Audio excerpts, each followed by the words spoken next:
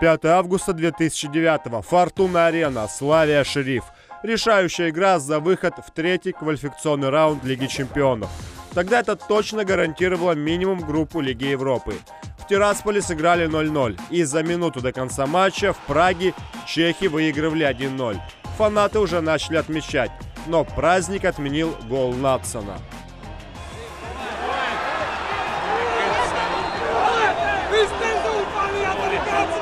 Прага в шоке, Тирасполь в эйфории. Шериф впервые смог снять проклятие второго квалификационного раунда и пройти дальше. А дальше был греческий Олимпиакос после группы Лиги Европы. Для Славии вылет от шерифа стал началом темных времен. Седьмое место в чемпионате Чехии в сезоне 2009-2010. И впервые с 1991 команда не попала в Еврокубки.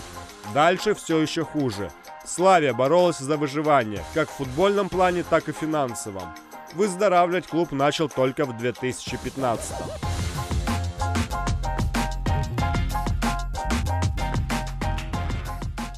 Славия один из флагманов чешского футбола. 17 раз клуб из Праги выигрывал чемпионат Чехии.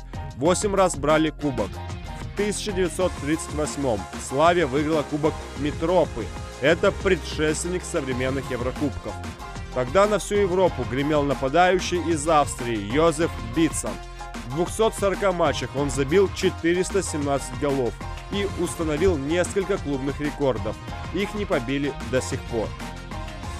Битсона хотели многие топ-клубы, в частности итальянский Ювентус, но Пепи, так прозвали бомбардира фанаты, решил остаться в Славии и стал легендой клуба.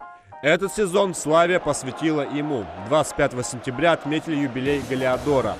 120 лет со дня рождения. Фанаты устраивают перформансы в его честь. После кризиса Славия вернулась в чешский топ. В прошлом сезоне финишировали вторыми. Впереди соседи по Праге и принципиальнейшие враги Спарта. Пражское дерби – одно из самых огненных в Европе. To naštvání Lindela naprosto chápu tohle. Ale vidět nechceme. Oh, Bořil dohrál podle mě. Это кадры с последнего матча Славии и Спарты. Потасовка на поле, град из красных и желтых карточек, безумие на трибунах. Красно-белые выигрывали 1-0, но на последней минуте Спарта сравняла счет и не пустила Славию на первое место в чемпионате Чехии. Кстати, со Спартой Шериф тоже играл за год до противостояния со Славией. Спустя 14 лет судьба вновь отправляет желто-черных в Прагу.